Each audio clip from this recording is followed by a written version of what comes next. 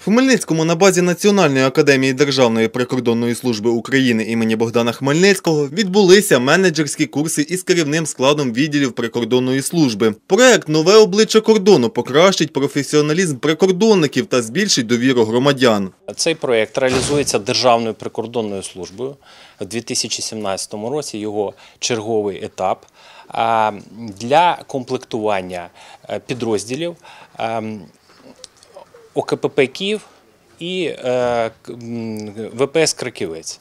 Участь у проєкті взяли кращі прикордонники. За двотижневий курс навчання слухачі мали змогу покращити рівень своїх знань у менеджерській сфері. Адже курси спрямовані на підвищення комунікаційних і керівних якостей. Навчання відбувалося завдяки європейським партнерам. Протягом 10 діб проводяться заняття е, з управління персоналом, з правових аспектів управління людськими ресурсами і з психологією управління персоналом.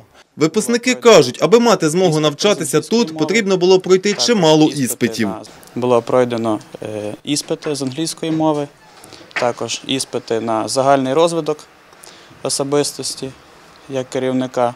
Також була здана фізична підготовка і безпосередньо е, після здачі даних іспитів е, я попав на е, даний проект і зараз проходжу навчання. Максим Посполіта, Юрій Сова, новини телеканал Ексклюзив.